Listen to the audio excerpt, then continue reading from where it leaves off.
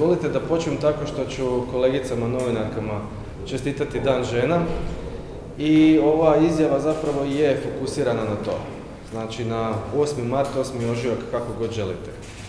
Želimo čestitati svim građankama Hrvatske njihov dan i umjesto cvijeta želimo im dati nešto drugo.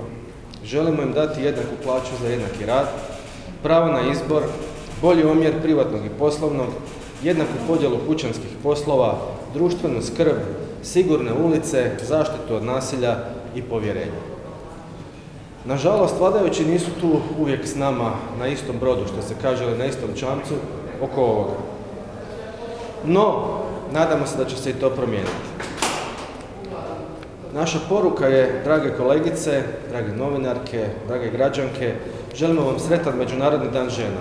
Ne zaboravite niti jedan dan u godini da ste važne, da ste snažne i da možete postići puno uz malo podrške i malo hrabrosti.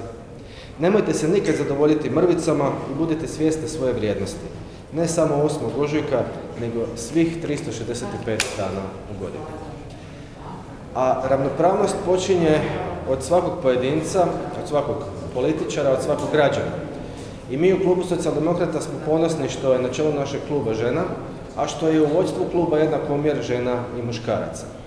No, ovo su neke simbolične stvari, mi naravno na tome ne stajemo, a što konkretno radimo i što konkretno pokušavamo napraviti kako bi pridonijeli ravnopravnosti spolova u Republici Hrvatskoj, reći će vam moja kolegica Klamuza.